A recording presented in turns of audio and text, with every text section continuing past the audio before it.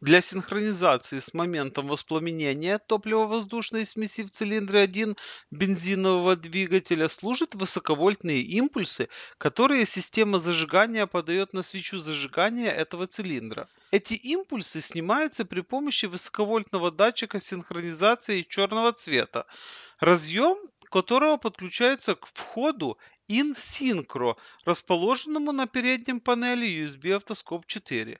Датчик синхронизации устанавливается на высоковольтный провод первого цилиндра. Такой провод штатно присутствует на классической и DIS-системах зажигания. На автомобилях с индивидуальными катушками необходимо снять катушку зажигания первого цилиндра. С помощью высоковольтного провода и адаптера подсоединяемся к свече зажигания. Черный синхродатчик подключаем на высоковольтный провод. На автомобилях, оснащенных модулями зажигания, поступаем аналогично, но в этом случае понадобится сразу несколько высоковольтных удлинителей. Датчик синхронизации, как всегда, устанавливаем на высоковольтный провод цилиндра 1. Для правильной работы алгоритма скрипта CSS очень важно, чтобы на записанной осциллограмме сигнала синхронизации были четко видны реальные моменты возникновения так называемой рабочей искры зажигания. Она возникает вблизи верхней мертвой точки в конце такта сжатия, когда давление в цилиндре высокое. Наряду с рабочей искрой датчик регистрирует также и так называемую холостую искру, которая в DIS-системах зажигания всегда чередуется с рабочей искрой.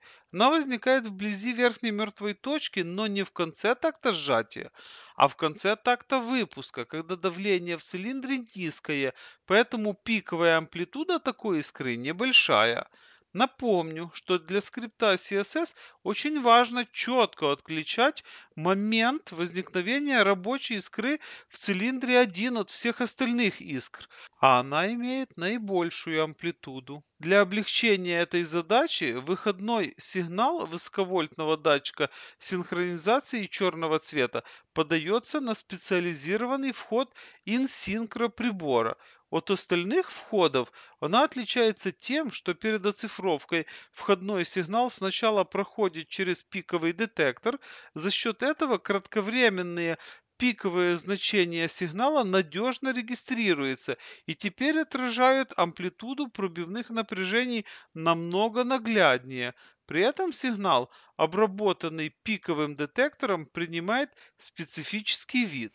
Для синхронизации с моментом воспламенения топливо-воздушной смеси цилиндре 1 современного дизельного двигателя служат электрические импульсы управления, которые блок управления подает на топливную форсунку этого цилиндра. Это может быть электромагнитная, либо пьезофорсунка системы Common Rail, насос-форсунка, либо PLD-секция. Удобнее всего снимать такие импульсы при помощи токовых клещей малого размера, таких как CTI-M. Кстати, эти клещи были специально сделаны для таких измерений. Разъем сигнального кабеля токовых клещей подключается к входу 4, расположенному на передней панели USB автоскоп 4.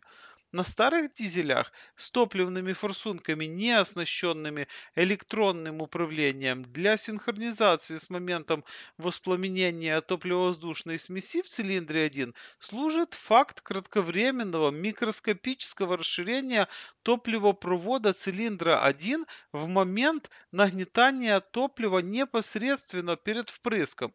Это расширение регистрируется при помощи пьезоэлектрического датчика PD4 либо либо PD6, сигнал которого предварительно обрабатывается с пьезоусилителем, после чего поступает на вход 4 USB автоскоп 4.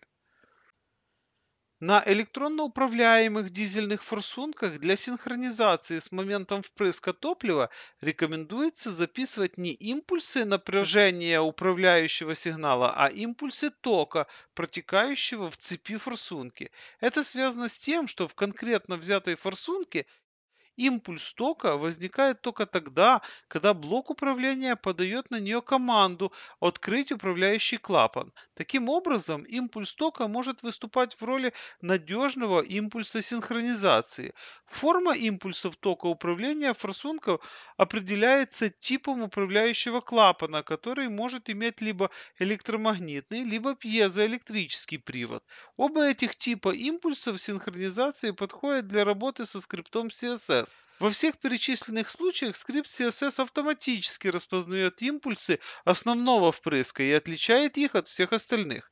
На старых дизелях с топливными форсунками, не оснащенными электронным управлением, для синхронизации используется пьезоэлектрический датчик расширения топливопровода высокого давления, по которому дизельное топливо нагнетается к форсунке цилиндра 1. Выходным сигналом этого датчика является не напряжение и не ток, а заряд. Поэтому сигнал такого датчика сначала поступает на усилитель заряда, где преобразовывается в напряжение и только потом подается на вход осциллографа. Следует отметить, что сигнал пьезоэлектрического датчика расширения топливопровода высокого давления дизеля имеет достаточно специфическую форму и содержит в себе много сопутствующей информации, по которой с некоторой долей достоверности можно судить об исправности элемента элементов топливной аппаратуры дизеля. Некоторые дизельные двигатели, оснащены форсунками без электронного управления, могут иметь одну важную особенность. Встречаются модели, где форсунка одного из цилиндров оснащена датчиком движения иглы.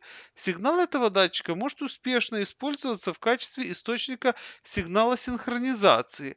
Такой сигнал синхронизации намного более надежен, нежели сигнал от пьезоэлектрического датчика расширения трубопровода, так как практически не зашумлен. Следует заметить, что форсункой с датчиком движения иглы зачастую оснащен не первый цилиндр. В таком случае важно не забывать правильно указывать номер цилиндра синхронизации.